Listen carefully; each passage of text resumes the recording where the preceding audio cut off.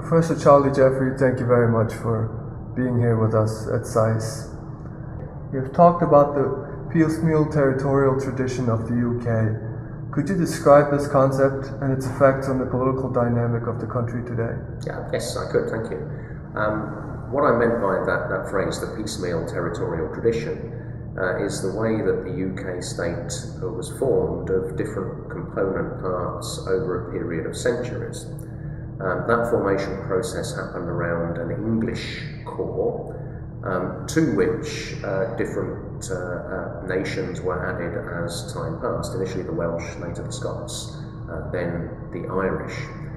Those processes of union with the other nations around England didn't happen in a uniform way. Uh, they each reflected the, the conditions of the time. They were each updated periodically over the centuries, but never in any kind of systematic process uh, which tried to coordinate uh, in, in, a, in a standard way across the various parts of the UK. So effectively, by the time we came to the devolution reforms, we had different kinds of relationship between the central state of the UK and its Scottish, Welsh and Northern Irish components. And it's those different relationships which really um, set the ball rolling for what's happened uh, since devolution, uh, enabling uh, a process in which uh, each part of the UK is beginning to look for its own solutions to the questions uh, it faces, and in which uh, there isn't really much coordination across the UK as a whole.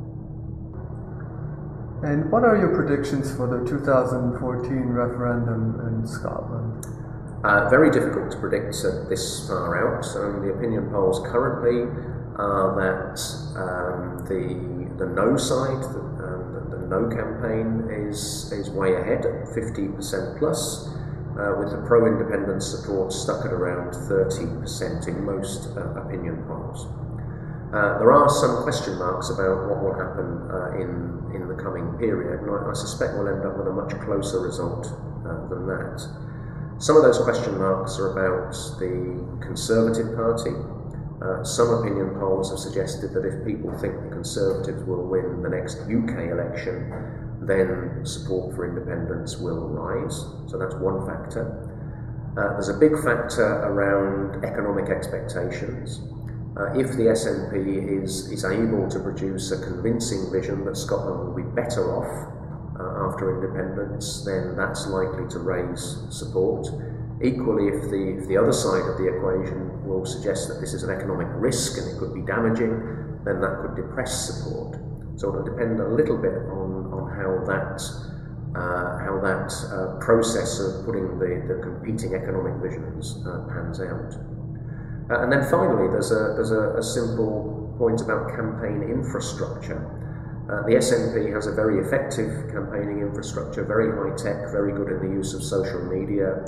Um, it is one party with one unambiguous leader, uh, and I think that will give it um, some advantage in the campaign as compared to the other side, uh, which um, combines the efforts of three political parties whose viewpoints on these issues are not absolutely the same, uh, and where there is uh, not such a compelling leader uh, in, in, on the no side as, as Alex Salmond on the yes side.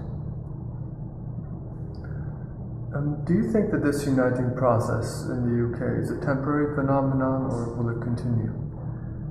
I, I think it is not a temporary phenomenon. In, in some respects, it's been happening for centuries. Um, and, and I think it can go through any number of, of iterations. Um, I, I, said in my lecture that, that Wales is now on its third form of devolution since its introduction in 1999, and a review is underway to establish what might be a fourth one. Um, the Scots will see a, a second uh, form of devolution enacted in the coming years, even if uh, there is a no vote in the referendum. Uh, and I suspect that even if there is a no vote, um, there will be a, a further reform of, of Scottish devolution. Uh, so I think we'll see uh, lots of iterations uh, in this process, uh, and I see little prospect of a stable equilibrium. Professor Charlie Jeffery, thank you very much uh, for being with us here today at SAIS. Thank you very much indeed.